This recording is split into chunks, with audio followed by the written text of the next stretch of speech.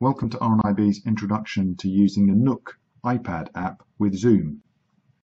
Zoom is the magnification facility that comes with the iPhone, the iPod Touch and the iPad. I'm going to demonstrate this on the iPad. The first thing I need to do is to turn Zoom on. I can turn Zoom on by tapping the home button three times and then choosing Zoom from the menu that appears. When magnification comes on, I can make it larger by double tapping with three fingers and after the second tap dragging my fingers up the screen. And I can drag them down the screen to make it smaller so I can get the magnification to the level I like. I can also turn the magnification on and off very quickly simply by double tapping with three fingers.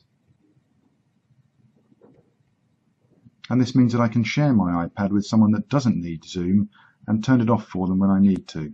With Zoom turned on, I can now find the app that I want. I know it's on my second page of apps. And on the second page of apps, I can move around until I find it. Once I've got the app open, I can find the book that I'm interested in reading, and I've been reading Pride and Prejudice, and that's the one I want to carry on reading. Now, when the book opens, I may find that the font is too small for me to read comfortably, at the top right of the screen I have some options. One of them is two letter A's next to each other and on this I can use this to change the size of the text. You may see the text changing behind the menu that I'm on and I'm going to put it onto the largest size of font. If I move down that menu there are some other things to do with the font and indeed the theme so I could change it if I find the white background too glaring. I can change it to grey or even to a night theme. I can also change things like the line spacing and the margin if I wish. And on the More Options button, I can choose to have everything shown in a single column rather than two columns. Once I've made the changes I'm interested in, I come away from the menu and the last thing I'd want to do is turn zoom off.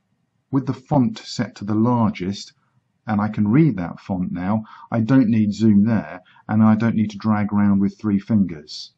So I can now scroll through my book in the usual way and read it. When I want to come out of the book or do something else that requires zoom, I just double tap with three fingers again, and zoom is back and then I can press the library button to come out of my book or the home button to come out of the app completely. That's been a very quick introduction to using the Nook app on the iPad with the built-in zoom magnification. I hope you found it useful. This video featured the Nook iPad app version 3.4.1.14 running on an Apple iPad with iOS version 6.1.3 RNIB, supporting blind and partially sighted people.